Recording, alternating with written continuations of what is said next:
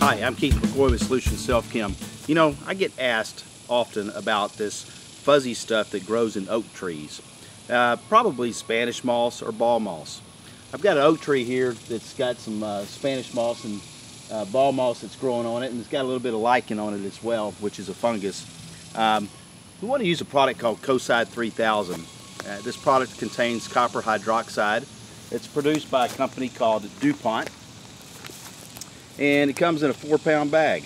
You can use this product in a pump sprayer uh, at a rate of about a half tablespoon up to a tablespoon and a half per gallon of water.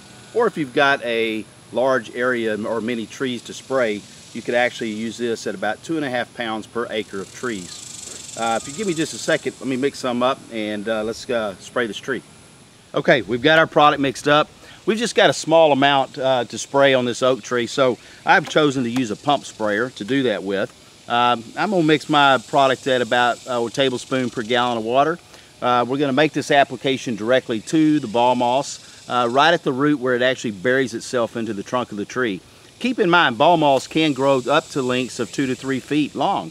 Uh, in the cases like that, when it gets real severe, um, oftentimes people will ask, hey, you know, it's going to kill my tree, or is it going to kill my tree? No, usually ball moss, Spanish moss is not detrimental to the tree. However, it can create a lot of diffused light, which uh, can create some stress on the tree, which will introduce uh, maybe some other diseases that can attack the tree or insects. So we do want to manage uh, Spanish moss and ball moss. So I'm going to go ahead and start spraying here, and you want to spray uh, to wet. And you want to also pick a day where the wind is not blowing. Usually early in the morning is the best time to do that. Um, if you give me just a second, uh, give me about 10, 15 minutes, I'm going to finish this tree up and I'll be right back with you.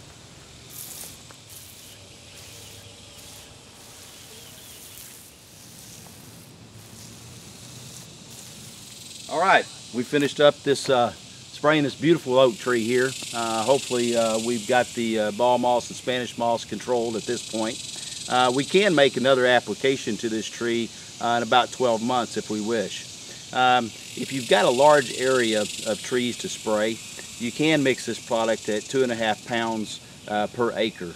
so keep that in mind. Also, Kocide 3000 can be used on fruit trees, nut trees, it can be used uh, in greenhouses. It can be used on vegetable plants. Uh, wonderful product. Uh, just make sure that when you apply the product, you're wearing uh, safety equipment, gloves, you're wearing goggles or, or some sort of safety glasses. Um, and uh, make sure that you're not spraying on a windy day. Again, you want to spray early in the morning. So just remember, Kocide 3000, best product for this particular job. Uh, if you want more tips, advice, you can call our 800 number or you can uh, look up one of our locations and we'll be glad to help you there. I'm Keith McCoy with Solution Self Chem. Ask us how, then do it yourself.